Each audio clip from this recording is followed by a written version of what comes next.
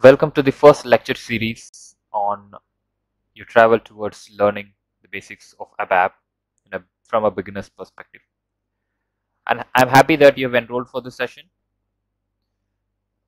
As we have seen in the introduction, this series of sessions are going to be very simple for anyone to learn ABAP from a functional perspective or as a fresher perspective. Let me not delay in going through this particular session on introduction to SAP. Uh, the primary objective of this particular session is going to be on making you understand the basics of SAP, how to log on to SAP, understand the basic navigations. You will also learn to interact with SAP sessions, etc. When we speak about SAP, we speak about two things.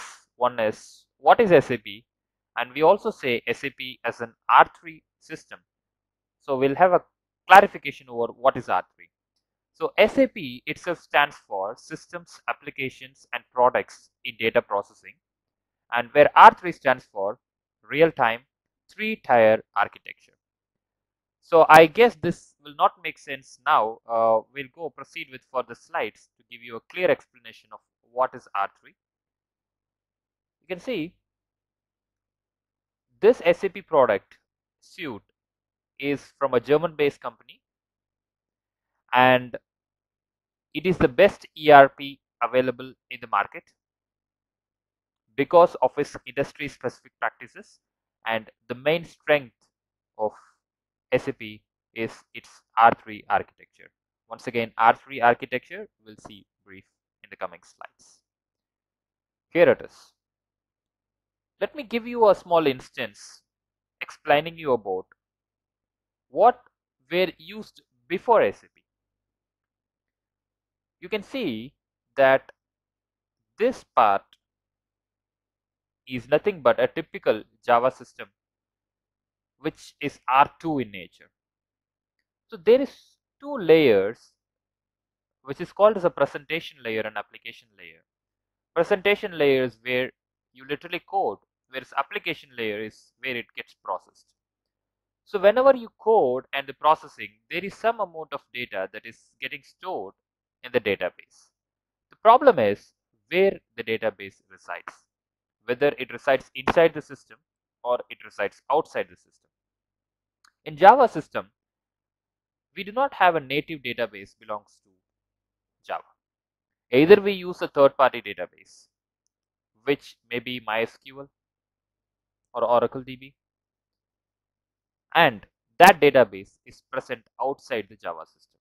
It means the retrieval of data and storing of data happens with an external source which is kept outside the system, because of which the data loss and the slowness in the data transfer might happen.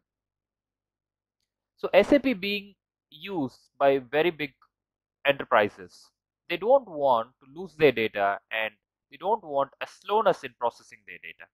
And hence, SAP has planned for an architecture called R3 architecture, where the database is present inside the SAP system. So the data storing and retrieval is very fast since it is present inside the SAP system.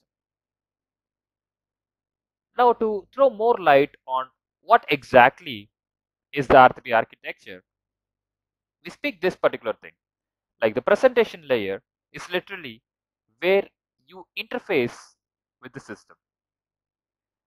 And whenever you go into the mail, when you enter your username and password, there is this particular screen comes in which says loading.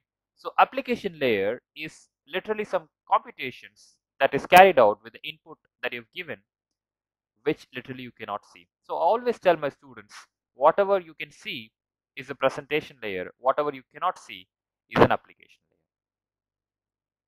layer. Database layer in SAP is very, very transparent and literally you can see the data, the tables, the columns, the headers, everything in the database layer. So all these three things together called as an R3 architecture. Now, proceeding ahead with how you can interact with SAP. So basically, SAP is interacted with two things. One is via an SAP logon pad. What you're seeing literally is an SAP logon where you have the list of systems present here. And you have to choose a system and it will prompt you to enter your username and the password.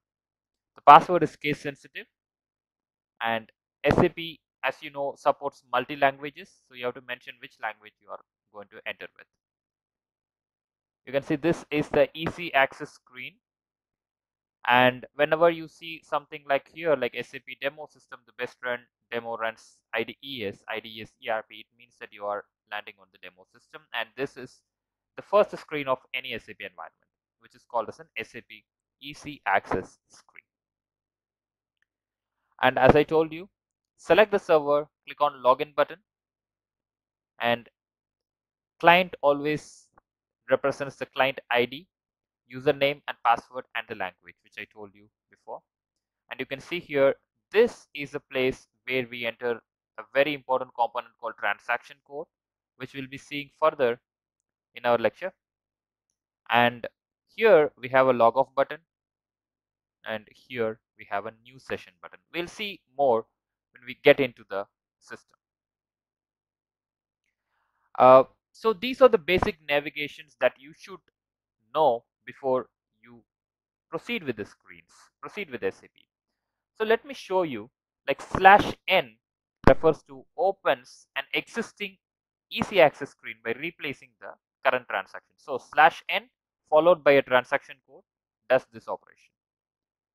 Slash n followed by something opens a transaction followed by any transaction code which replaces the current transaction. It means basically understand when you say slash n it means it is going to replace. When you say slash n alone from any transaction it's going to open an easy access screen that I've shown you. But when you say slash n followed by some transaction it's going to open that particular transaction code that you mentioned here replacing the currently visible transaction. Similarly, slash O displays an overview of the current transaction. I'll show you in a minute. Slash 0 slash O followed by a transaction code opens a new transaction without replacing the current transaction. I'll show you practically in a moment. A maximum number of 6 to 8 screens can be opened in parallel. It means SAP allows multitasking.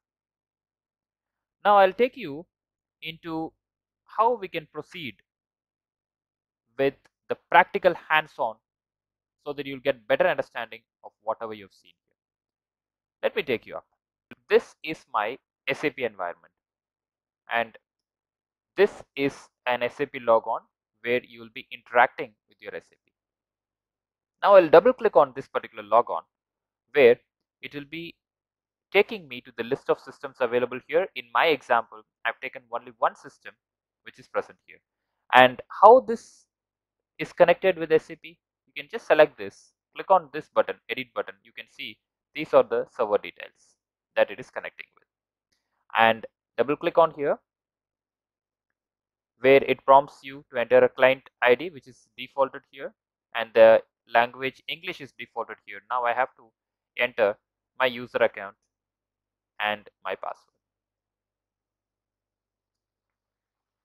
As I told you, SAP Easy Access screen, which is nothing but the first screen that you will have in SAP.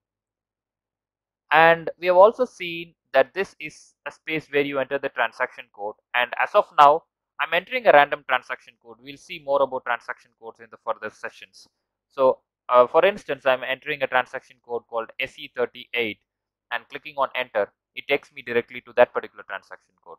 Now, if I use slash O, I told you it gives an overview of this particular transaction. Just click on enter. You can see it gives an overview of the transaction, says that it is ABAP editor and time, which is good enough information. Right. And when I say slash O followed by a transaction code. What it does, it's going to it's going to open a new transaction without replacing this particular transaction. So SE37 again. Enter. See a new transaction code is opened here which is called as a function builder but you can see here it never closed the ABAP editor. So ABAP editor is available in parallel and in parallel to that you have function builder. Okay, let me give slash n alone which will always take you to the SAP Easy Access screen. And let, let it be here. I'll go into the ABAP editor and if I say slash n followed by a transaction code, it replaces the current transaction with this particular transaction code. Let us see from here. See, ABAP editor is no more, which has been replaced by the function builder. So these are the navigation schema. In addition to that, this is a log off button. Click on this. You can see log off. Yes. And this is a new session creation. If you click on this, two, three, four, five, six. You can see six sessions. It says max maximum number of sessions reached.